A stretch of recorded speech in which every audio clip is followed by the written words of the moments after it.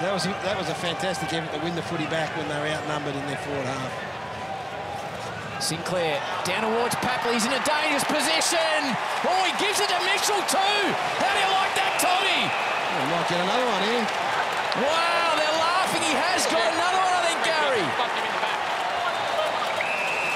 Extraordinary at the SCG. Papley kicked the goal, gave it to Mitchell, gave it back. So Papley's kicked the goal. He goes after and does what not many of us like, and that's get in the face of Tom Mitchell. Tom Mitchell defended horribly, by the way. And I don't reckon Tom Papley needs to tell him he's a Brownlow medalist. And then James Frawley whacks him on the back and gets another shot.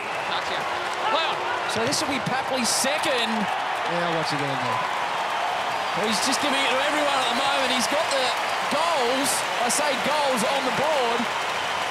And Sydney get a couple in a real hurry, and he's still giving it to them, Tom Papley.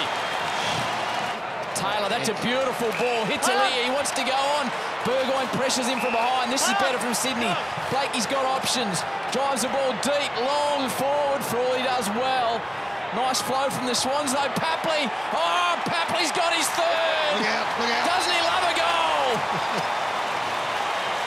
A couple of times we've been able to see three players in the middle of the ground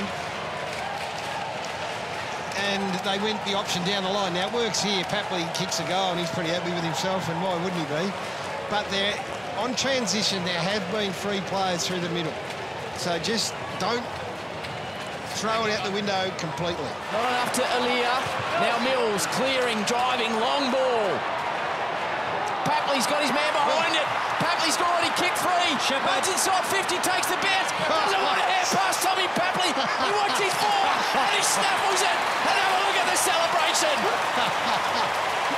It took Elijah Taylor 60 metres to realise that Papley wasn't given it and he had to actually come across and chip it. He's thinking here, I've got the handball for sure. Handball, yep, when's he going to give it? Oh, he's not. I tell you, what about um,